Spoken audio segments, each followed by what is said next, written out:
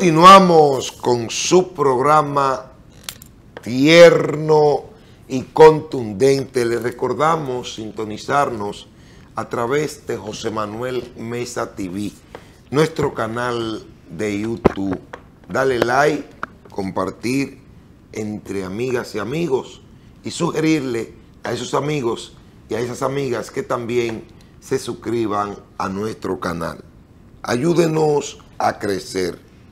Rumbo, rumbo a los 10 mil.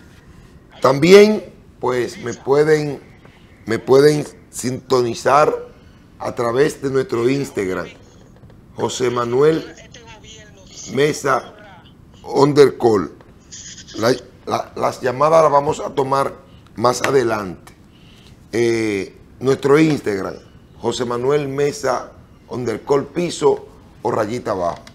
Antes, no quiero que se olvide lo que hizo el director de la ONSA, Radamés González, en diciembre y que ninguna autoridad me ha podido mentir.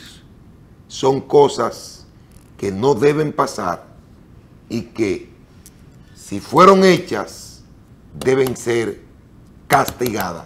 Adelante Johnny con ese videito. Vamos a escucharlo. Manejamos la información que la Oficina Metropolitana de Servicio de Autobuses ONSA no pudo ejecutar su presupuesto.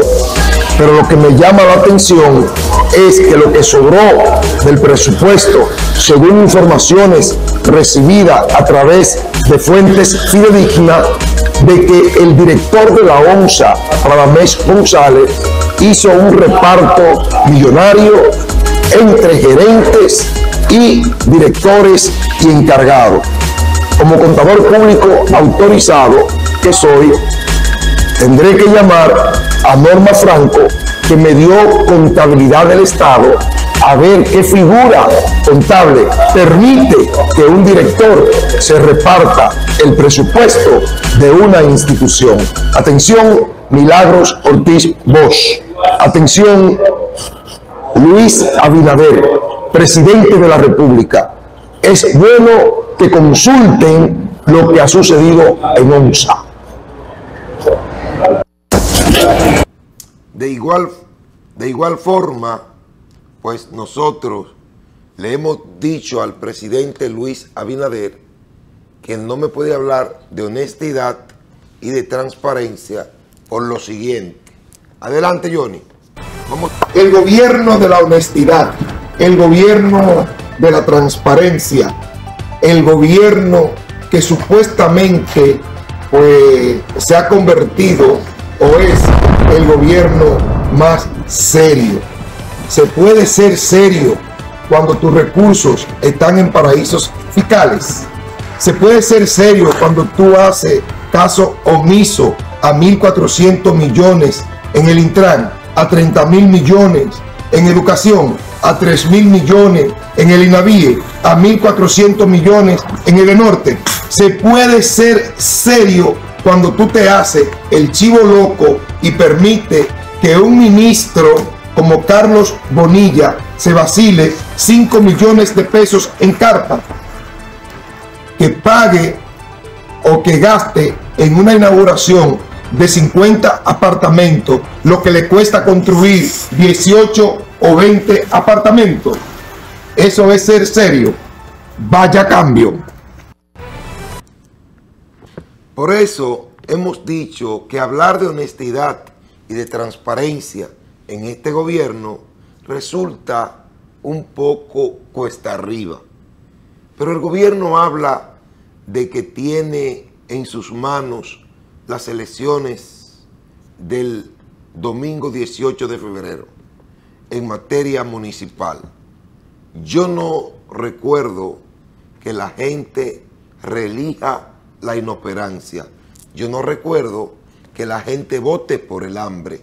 Yo no recuerdo que la gente vote por el alto costo de la vida. Yo no recuerdo que la gente vote por la falta de materiales gastables en los hospitales. Yo no recuerdo que la gente vote por la falta de medicamentos en la farmacia del pueblo o boticas populares. Yo no recuerdo que la gente vote por no tener transporte, que la gente vote por no tener acceso a dos o tres libras de carne, que la gente vote por comprar huevos a 10 pesos. No recuerdo eso.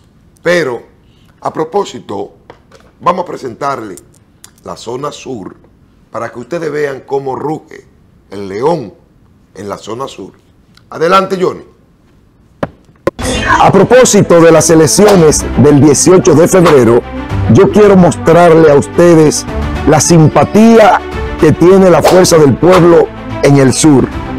Esto es Elias Piña, San Juan, Barahona, Asua, Baní, San Cristóbal, Jaina.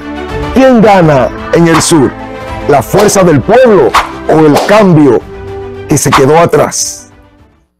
A propósito, ¿quién gana en el sur?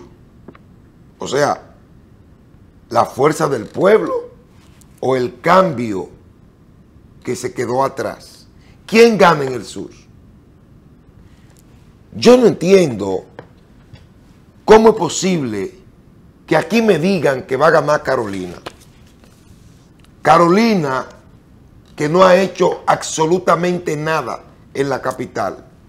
Carolina que dice amar a Santo Domingo y prácticamente dos inundaciones desaparecen a Santo Domingo. Y esas dos inundaciones que iban a desaparecer a Santo Domingo, pues fueron provocadas por la falta de mantenimiento a los inbornales. Porque la compañía que contrató Carolina nunca, nunca, desde el 2020, no hizo el trabajo. Sin embargo, supuestamente, según Domingo Contreras, cobró los cuartos. Entonces, esta es la señora que me dice que ama a Santo Domingo, que quiere la capital y no hace absolutamente nada por la capital. Carolina ha sido un fracaso en la capital, por donde quiera que usted la quiera medir, un fracaso. Entonces no es verdad que en la capital va a ganar Carolina. Eso no es verdad. Eso no es verdad. El PRM, Luis Abinader y Carolina Mejía en la capital fracasaron. Vamos a la pausa y retornamos tierno y contundente. Pausamos.